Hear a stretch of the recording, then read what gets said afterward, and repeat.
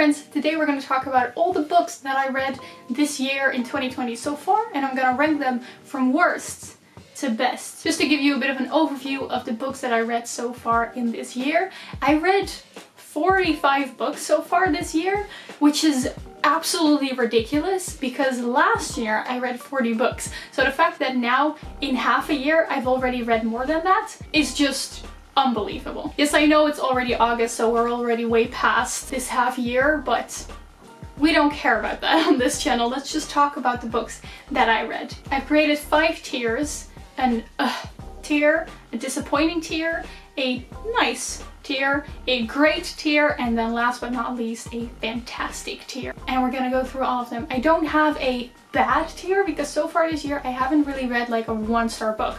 So that's a good sign. Let's start with the worst tier. Ugh. Only one book in this tier and that is The Shadows Between Us by Tricia Levenseller. A dark YA fantasy romance that felt underdeveloped in pretty much every aspect. I have a full spoiler-free review in which I talk about how it failed at creating anti-heroes and why I think this should actually have been an adult romance book. So if you want to watch that, you can go to the link over there. The next tier is disappointing. At the bottom of this tier we have Semiosis. This is a science fiction first contact about the idea that aliens might not actually be animals like we are.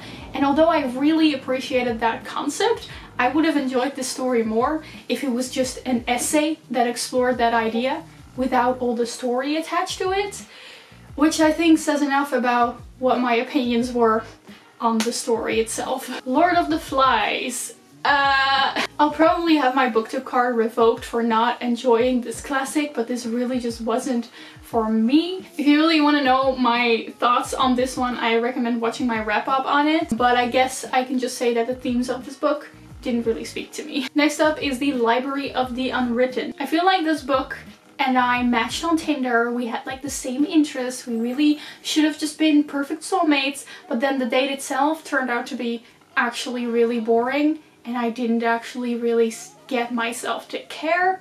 That's what this book was. Great concept, but failed to make me care. Next up we have a romance novel, The Kiss Quotient. I didn't know it was possible for a book to have too many smutty scenes, but here we are. I really enjoyed the personal life stories of the love interest and the main character more than I enjoyed their actual romance a very unpopular opinion on booktube I think. then we have the truly devious trilogy. The first one is actually the best one out of them all, but I just wanted to put them all together here. This mystery YA novel is like junk food, like it's really bad, but it's so addicting. Ugh. This is basically just one mystery story chucked into three parts and every single revelation felt like a slap in the face like haha bet you didn't see that coming. It's because we didn't foreshadow it. Next up, another book that I really should have loved, and that is The Bear and the Nightingale. This has Russian folklore, it's dark, it's magical, atmospheric, should have been my thing. I'm just kind of over main characters whose sole personality trait is that they don't want to marry and that they actually want to do all the things that the men are allowed to do.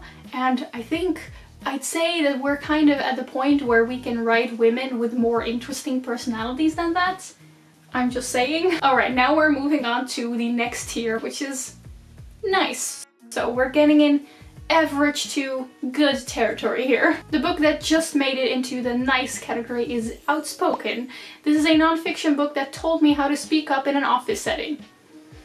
I don't ever am in an office setting, but it did teach me some things about feminism, so that's great. Then we have Deaf Republic by Ilya Kaminsky, the first and only poetry collection that I read this year, and it mostly taught me that I have a really hard time understanding poetry. I have a full vlog in which I struggle reading this book, so if you want to watch that, I'll link it on the screen.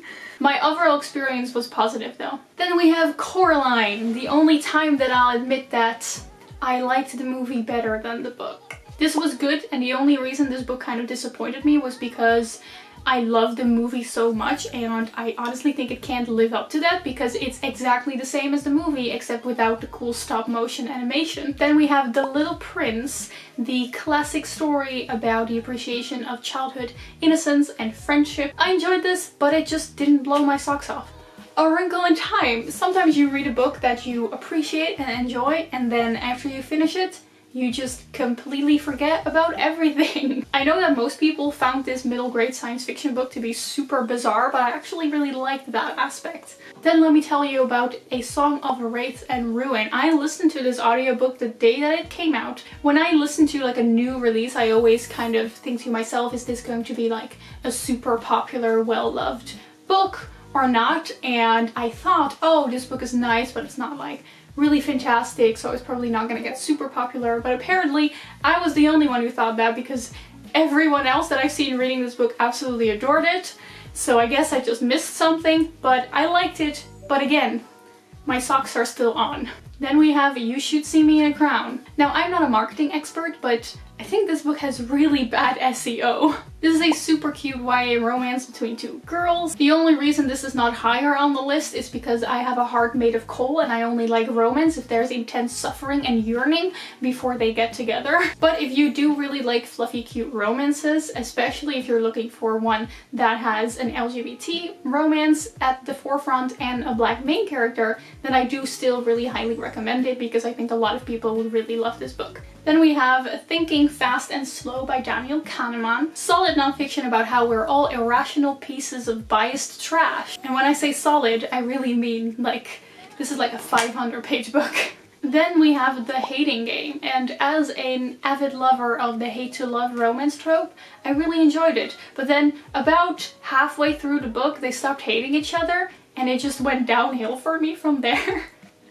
Just goes to show that I really do only like to see people suffer in romance, apparently. Then we have The Star-Touched Queen, a YA fantasy that's super mesmerizing, beautiful descriptions, very magical, and then halfway throughout the story the author suddenly realized, wait, this is a YA fantasy, so we need to put in some kind of adventure plotline and that's where it kind of went downhill. I understand that it would be too risky for the author and the publishers to just write a book that's just like mesmerizing beautiful descriptions without a plot, but I think I would have actually enjoyed it more if it was like that. Then we have The Ballad of Songbirds and Snakes. I really appreciated all the political philosophy that was explored in this book. I actually would have liked to see more of it even, but I just didn't think this book did what The Hunger Games was so good at, because The Hunger Games did explore some societal issues and then on top of that also had a really interesting fun plotline with great interesting characters and I know that this book focused more unlike the political stuff, but it really would have benefited, especially since this is like a 500 page book, really would have benefited from some more interesting characters and like a more interesting plot. Then I have here My Sister Rosa, a mystery about a teenage boy whose sister is a psychopath. It's really cool and creepy. I just would have liked to see more sister psychopath and less teenage boy story. And now we're moving on to the greats category. The first book in this category is The Hidden Life of Trees, a really cool nonfiction about trees. Did you know trees can communicate with each other? It's cool. Now you're probably thinking, Leonie, are you seriously recommending a book about trees? Could you get any more hipster? And the answer is yes, because the next books that I want to talk about are about feminism. I'm gonna put these three feminist books just at the same place in the tier. The two books by Chimamanda Ngozi Adichie are really short and great introductions to intersectional feminism and Bad Feminist is especially really great if you like feminist media critique. Then we get to The Obelisk Gate, which is the second book in the Broken Earth trilogy. I found this to be kind of second book syndrome, but I really like the themes that were explored in this one and it also made me cry. then we have So You Want to Talk About Race. This is a really understandable entry-level book into talking about oppression and anti-racism. So I learned a lot from this book and it also works really great as an audiobook because it kind of listens like a podcast. So honestly, no reason to not pick this one up. Then we have If We Were Villains. This has murder, theater, Shakespeare, three things that I have no affinity with, but I still really enjoyed this dark academia murder mystery. Next up we have another non-fiction, it's Humankind. Do you often lose your faith in humanity? Do you want to restore your faith in humanity? Well then you should read this book. This book counters the prevailing negative image of humankind. For example, it talks about how those famous experiments like the prison experiments aren't very reliable. It's just a breath of fresh air and I really think this is a book we all need right now, basically. I know it sounds like it's really big, like it's 500 pages, but honestly, you fly through it because it's super readable. Then we have Nevermore. This book single-handedly proves why middle grade fantasy is so great. It's magical, it's fun, it's happy. Sign me up. then we have the Avatar The Search graphic novels. The only reason this is so high is because my 12 year old self would not allow me to put this any lower, but this is very solid. You know there's one question that plagues every single Avatar the Last Airbender fan at night and that is what happened to Zuko's mom? The answers are in these graphic novels. We're really getting at the top of the great tier now and the next one is Daisy Jones and the Six. Usually when I read audiobooks I tend to not retain the stories as much or really enjoy the stories as much but this one is the exception. I still remember everything so vividly, the characters are so real and genuine and I recommend this super great 70s band novel to everyone. And then we have A Conjuring of Light by V. Schwab. I don't even know how to talk about this book anymore because I feel like I've said everything. It has adventure. It has elemental magic. So much action. There are pirates. Pirates, guys, pirates. Alright, and that concludes the great tier. Now we're going to the last tier that has eight books, and that is the fantastic tier, the best books that I've read this year so far. First up, I have 1984. I don't really know how to talk about this book because I feel like everything has already been said about this book. But yeah, you know, authoritarian governments, bad. Censorship, bad. Just read this. I feel like everyone should just read this. Then we have Eleanor Oliphant is completely fine. this is a book about a woman who has nothing that's slowly picking herself up and learning to appreciate herself more.